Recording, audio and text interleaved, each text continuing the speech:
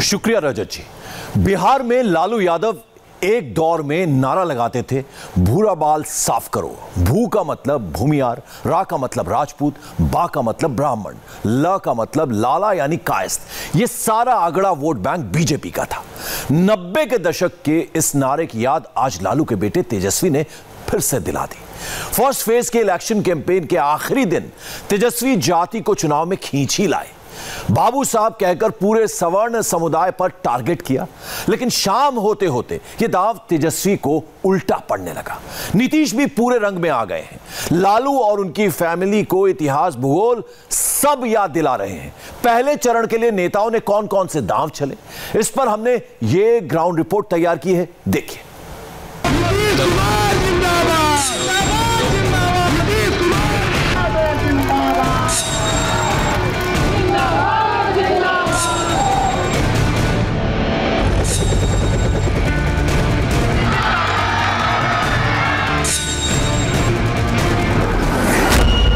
का चुनाव जाति पर आया।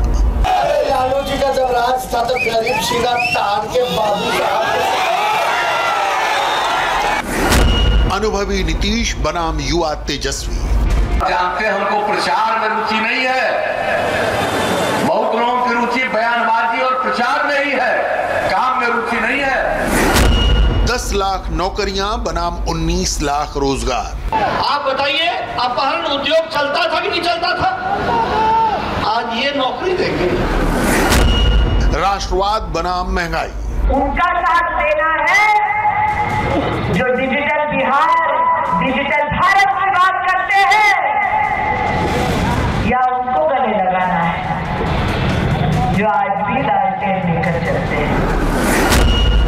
कौन जीतेगा पहले फ़ेज़ की लड़ाई? बिहार में पहले फ़ेज़ के मतदान के लिए चुनाव प्रचार खत्म हो गया। आखिरी दिन सभी पार्टियों ने पूरा दम लगा दिया। क्या नीतीश कुमार और क्या तेजस्वी सभी मैदान में उतरे, वार और पलटवार हुए। किस पार्टी ने कितनी रैलियाँ की, कौन से मुद्दे उछाले गए और क्या बयानबाजी की गई? ये सारी बातें हम आपको ग्राउंड रिपोर्ट में बताएँगे और साथ ही बताएँगे कि जनता का मूड क्या है। कितना एक एक चीज़ को समझती है? 28 अक्टूबर को बिहार के पहले चरण की इकहत्तर सीटों पर पहली परीक्षा होनी है। खासतौर पर इन चार लोगों का टेस्ट होने जा रहा है। नरेंद्र मोदी नीतीश कुमार तेजस्वी यादव राहुल गांधी। पहले चरण की वोटिंग से दो दिन पहले बिहार का चुनाव वहीं पहुँच गया, जैसा नब्बे के दशक में लड़ा जाता था। लालू यादव के बेटे तेजस्वी यादव पंद्रह दिन से अलग लाइन पर थे। न जात की बात, न धर्म का मुद्दा, लेकिन आखिर में वो जात पर आ ही गए। सीएम कैंडिडेट तेजस्वी ने सासाराम में जो कुछ कहा, वो ध्यान से सुनिए और समझिए कि इलेक्शन कहाँ पहुँच चुका है। लालू जी का जब राज था तो गरीब सीधा तार के बाबू साहब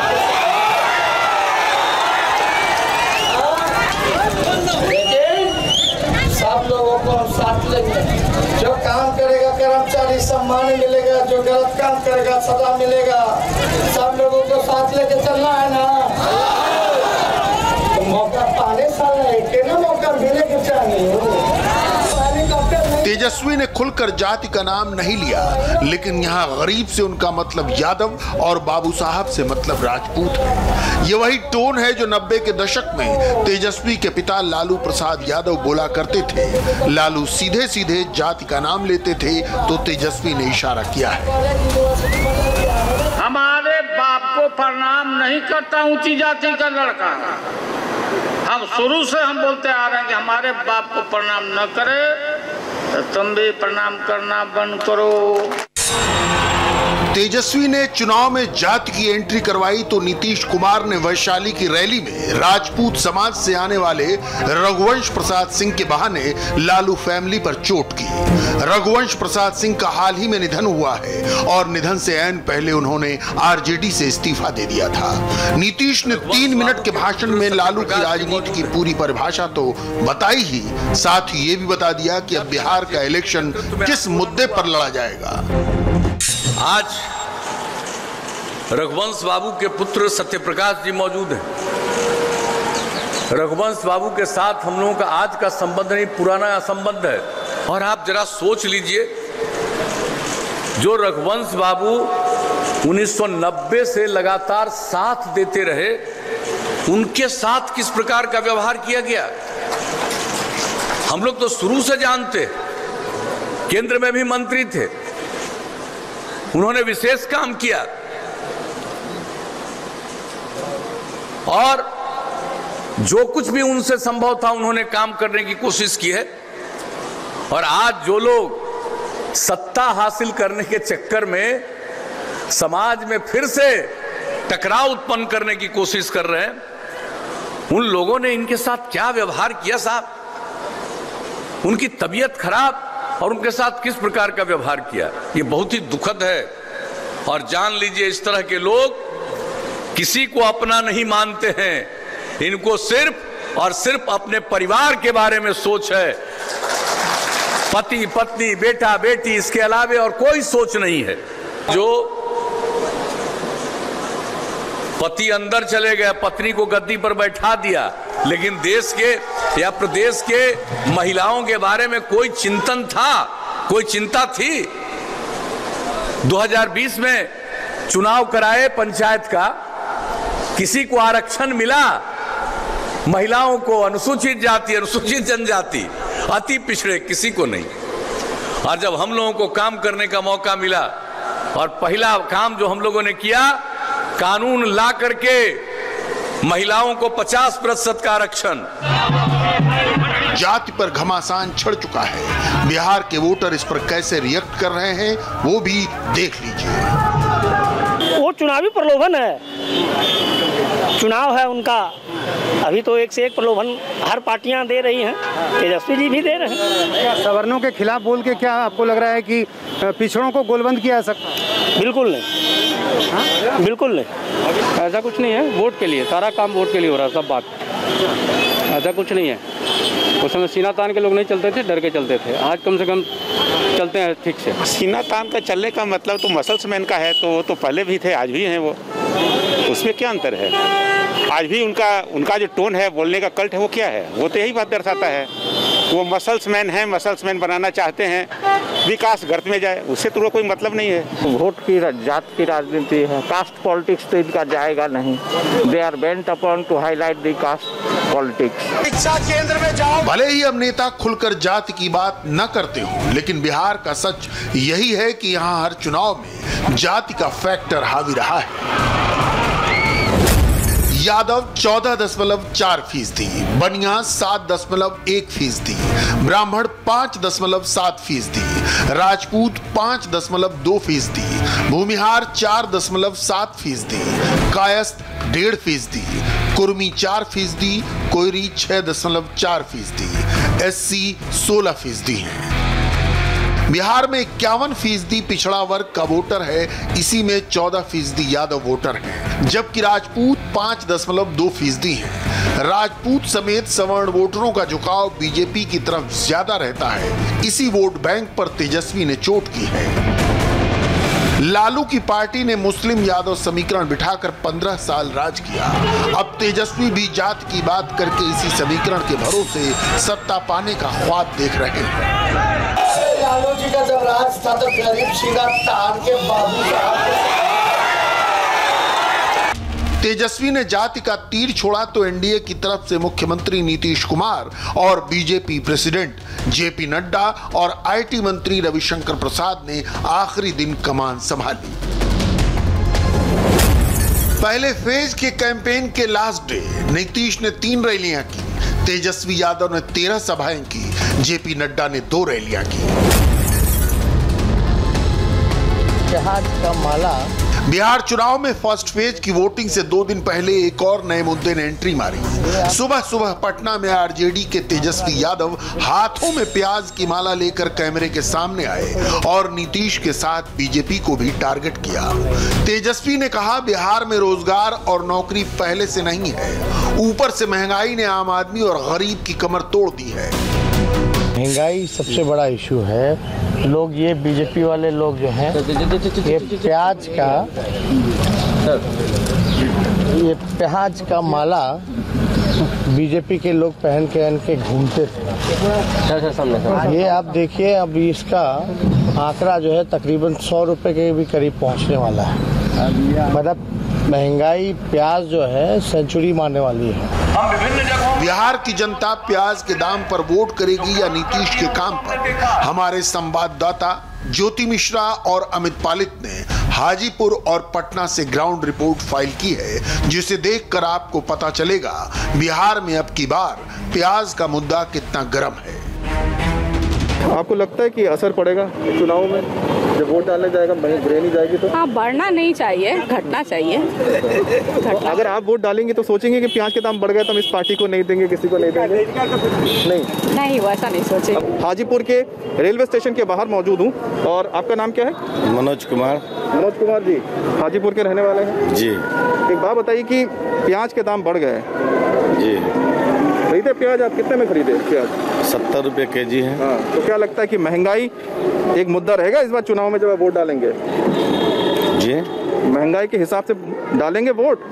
वोट जब वोट डालेंगे। वोट डालेंगे लेकिन इस पार्टी को नहीं डालेंगे नीतीश कुमार को नहीं देंगे। महँगाई मुद्दा है आपके लिए चुनाव में? महँगाई तो सबके लिए महँगाई तो आबादी बढ़ेगा तो महँगाई बढ़ करेगा। प्याज की जो प्याज जो महँगा हुआ है क्या प्याज के महँगा होने से क्या वोट लोग किसी और पार्टी को देंगे? प्याज तो ये आर्थिक ये नहीं है। ये प्राकृतिक विपता है। महँगाई का रेट आता है तो जब मार्केट में प्याज नहीं रहता है नया आएगा तो फिर से वही हो जाएगा। वो मुद्दा नहीं है वोट में? वो वोट में मुद्दा नहीं है। ये बताइए कि आप क्या बता रहे हैं कि ऐसे जैसे तेजस्वी यादव बोलते हैं नीतीश जी की वजह से महँगाई बढ़ गई है? नहीं ना ना वो गलत है। वो गलत है। लालू जी सरकार में इतना महँगा नहीं था। आलू प्याज यही नहीं था महँगा। नहीं कभी इतना महँगा नहीं खाया। सौ रुपए किलो प्याज कभी सरकार नहीं था। नीतीश जी के सरकार में महँगाई बढ़ गया। क्या ये महँगाई एक मुद्दा है आप लोगों के लिए चुनाव में? चुनाव में बहुत सारे मुद्दे होते हैं। हाँ। मुद्दा महँगाई नहीं मगर बिहार। नहीं विकास में एक मुख्य मुद्दा है। इंडिया टीवी ने कृषि मंत्री नरेंद्र सिंह तोमर से भी प्याज के बढ़ते दाम पर सवाल किया। तोमर ने कहा कि बिहार की जनता को प्याज के चक्कर में नहीं पड़ना चाहिए। तेजस्वी यादव जी, लालू प्रसाद जी के पुत्र हैं। और लालू प्रसाद जी भी चुनाव में नौटंकी करते थे। तो उनका असर तेजस्वी पर भी है। क्योंकि हमको लग रहा था कि प्याज की कीमत बढ़ सकती है, इसलिए प्याज के एक्सपोर्ट पर समय रहते रोक लगा दिया था। नेफेड की प्याज रिलीज़ हो गई है जगह जगह पे बिकने लगी है, सब जगह महँगाई नहीं है। बिहार में भी जैसे ही निर्वाचन आयोग की अनुमति मिलेगी, वैसे नेफेड की प्याज पहुँच जाएगी और प्याज सस्ता हो जाएगा। मैं बिहार के नागरिकों को आश्वस्त करना चाहता हूँ। लास्ट डे राहुल गांधी ने खेल खेला। हालाँकि राहुल गांधी चुनावी मैदान में नहीं उतरे, लेकिन वो चुनावी खेल खेलते रहे। राहुल गांधी ने ट्विटर के ज़रिए यह खेल खेला। पंजाब के भटिंडा में प्रधानमंत्री मोदी के पुतले फूके जाने की खबर को राहुल गांधी ने ट्विटर के ज़रिए फैला दिया और इस खबर की आग बिहार तक पहुँची। वहीं जेपी नड्डा ने सीधा राहुल गांधी पर अटैक किया और कहा कि राहुल गांधी के डायरेक्शन पर ही प्रधानमंत्री मोदी का पुतला फूका गया था। राहुल ने ट्विटर पर लिखा कि प्रधानमंत्री मोदी को किसानों की बात सुननी चाहिए। ये वो वीडियो है जिसकी आँच बिहार तक में दिख रही है। ये तस्वीरें तब तक सामने नहीं आई जब तक राहुल ने ट्वीट करके बताया नहीं। बीजेपी अध्यक्ष जेपी नड्डा ने इस घटना को शर्मनाक बताया। उन्होंने इसे राहुल गांधी डायरेक्टेड ड्रामा कहा। तीन दिन पहले ही राहुल गांधी ने बिहार की रैली में किसान कानून का मुद्दा उठाते हुए मोदी को दो उद्योगपतियों का मददगार बताया था। एमएसपी खत्म की। किसानों के साथ प्रधानमंत्री हूँ, खड़ा हूँ। मगर काम सिर्फ़ उन दो लोगों का होता है। एयरपोर्ट, रेलवे लाइन, आपके खेत, माइंस, जो भी उनको चाहिए नरेंद्र मोदी देता है। आप लोग देखते रह जाते हो। पंजाब में हुई घटना के खिलाफ बिहार के चुनावी मौसम में सियासत में उबाल आ गया। बीजेपी महिला मोर्चा ने पटना में कैंडल मार्च निकाला। इंडिया टीवी रिपोर्टर्स ने भी बिहार की जनता से पूछा कि पंजाब में हुई घटना का कितना असर बिहार के चुनाव पर पड़ेगा। ऐसा नहीं करना चाहिए। किसी भी देश के प्रधानमंत्री के साथ ऐसा व्यवहार नहीं होना चाहिए। मोदी जी के साथ आपको न, न, मोदी जी रहे चाहे मनमोहन सिंह जी रहे किसी भी देश के प्रधानमंत्री के चूँकि प्रधानमंत्री सर्वोपरि होता है। ये बिल्कुल गलत है। ये जब अपने उनके लोग करते हैं या खुद करते हैं तो चिल्लाते हैं कि ये गलत है। लेकिन जब उनके पार्टी का नेता पर कोई लोग इसी तरह का करता है तो वो चुप हो जाते हैं। राहुल गांधी को तो जानते ही हैं जी सर, राहुल उन्होंने उन्होंने उन्होंने ट्वीट किया है फ़ोटो। गलत सर किया ये सब फ़ोटो इसको नहीं देना चाहिए था सर फ़ोटो। गलत कर दिया इसको लगा आपको लगता है चुनाव में मुद्दा बन सकता है इनके लिए जी सर मुद्दा बनेगा बहुत भारी बड़ा मुद्दा बनेगा तो। प्रधानमंत्री के पुतले पर राजनीति गर्म है, लेकिन बिहार के चुनाव में सिर्फ़ यही एक इशू नहीं। है अब तक चुनाव में एनडीए ने जो बड़े मुद्दे उछाले हैं, वो हैं गलवान घाटी में संघर्ष, पुलवामा और एयर स्ट्राइक, ट्रिपल तलाक रोकने का कानून, राम मंदिर का भूमि पूजन, राफेल विमानों की खरीद, मंडी के बिचौलिए दलाल कश्मीर से धारा 370 हटाना फ्री कोरोना वैक्सीन 19 लाख रोज़गार देना। जबकि महागठबंधन के बड़े मुद्दों में शामिल हैं। बिहार में बेरोजगारी और पलायन 10 लाख सरकारी नौकरियाँ देना। किसान कानून का विरोध, प्रवासी मजदूरों का मुद्दा, महँगाई और भ्रष्टाचार। बिहार की बैटल कितनी इंपॉर्टेंट है, इसी से अंदाज़ा लगा सकते हैं। कि प्रधानमंत्री नरेंद्र मोदी ने तीन रैलियाँ की और 24 सीटें कवर की। राहुल गांधी ने दो रैलियाँ करके 12 सीटें कवर की। नीतीश कुमार अब तक 50 से ज़्यादा रैलियाँ कर चुके हैं। तेजस्वी यादव सबसे आगे हैं। वो करीब 60 सभाएँ कर चुके हैं। बिहार वो स्थान है जहाँ लोकतंत्र के बीज बोए गए। थे क्या जंगल राज में कभी भी विकास और लोकतंत्र के मूल्य फल फूल सकते हैं। बिहार भ्रष्टाचार मुक्त शासन का हकदार है। इसे कौन सुनिश्चित करेगा? खुद भ्रष्टाचार में लुप्त लोग या भ्रष्टाचारियों से लड़ने वाले लोग? प्रधानमंत्री मोदी ने नेशनल मुद्दे उठाए, लालू राज के जंगल राज की बात की तो राहुल गांधी ने किसानों और मजदूरों की बात की।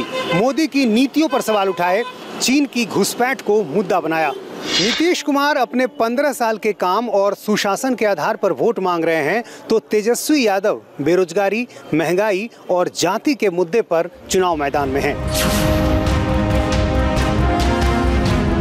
बिहार के चुनावी शोर के बीच एक वीडियो भी वायरल हो रहा है। इस वीडियो में तेजस्वी की पार्टी आरजेडी के बड़े नेता अब्दुल बारी सिद्दीकी एनडीए की जीत की भविष्यवाणी करते दिख रहे हैं।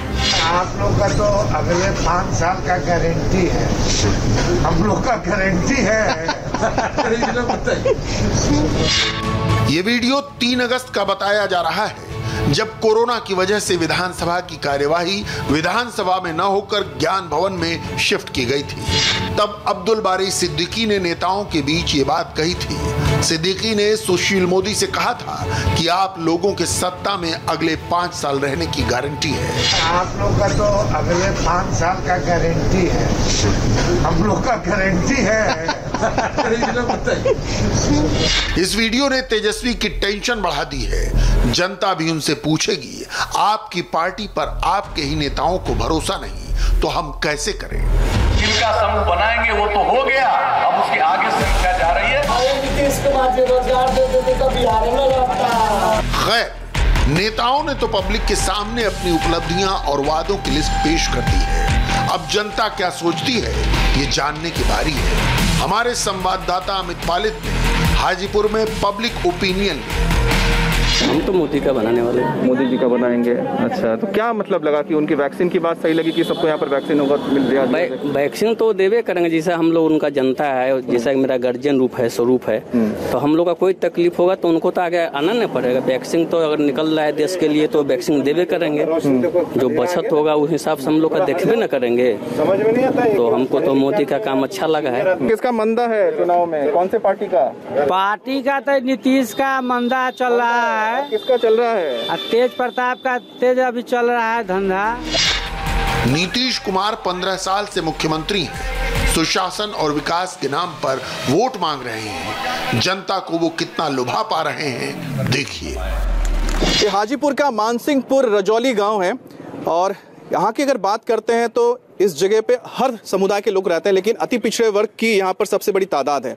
और अति पिछड़ा वर्ग क्या सोचता है चुनाव को लेकर ये जानना बहुत ज़रूरी है क्योंकि ये एक बहुत बड़ा वर्ग है और ये एक मुश्त होकर वोट देता है और लोगों की किस्मत को तय करता है। तो चलिए लोगों से बात करते हैं। सबसे पहले हम यहाँ पर कुछ महिलाएँ मिल गई हैं उनसे बात कर लेते हैं। वो तो समय अभी तो लेकिन मन में- रात भर में बदल जाता है अच्छा, ऐसी बात नहीं रात भर में बदल जाता है अच्छा, अभी तो नहीं बता पाएँगे। अच्छा फिर भी मुख्यमंत्री कैसे लगते हैं? मुख्यमंत्री मुख्यमंत्री तो बहुत अच्छे है की हर काम किए हैं। अच्छा तो आपका क्या मन है? मुख्यमंत्री से खुश हैं कि मुख्यमंत्री को बदलना है?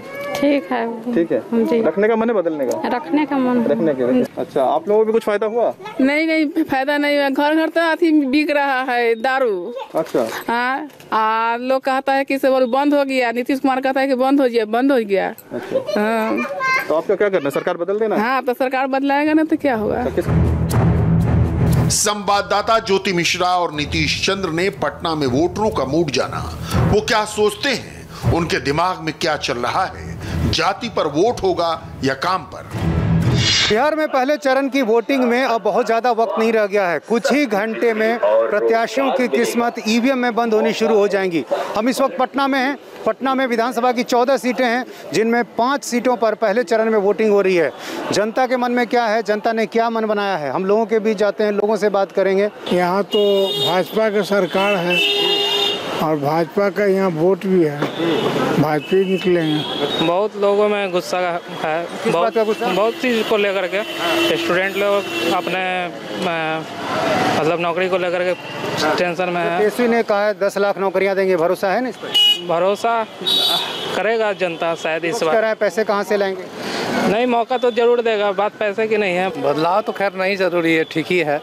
नीतीश जी अगर हैं तो कान- कानून व्यवस्था तो कम से कम ठीक है। इसका ज़ोर है यहाँ पे? ज़्यादा तो हमको लग रहा है बीजेपी। हाँ जैसा आंकड़ा देखने में लग रहा है। लोकसभा चुनाव में इन वोटरों को मोदी ने जीत लिया था। एनडीए को 40 में से उनतालीस सीटें मिली थी। लेकिन ये विधानसभा का चुनाव है। यहाँ भी मोदी सबसे बड़ा चेहरा है। नीतीश उनके पीछे है।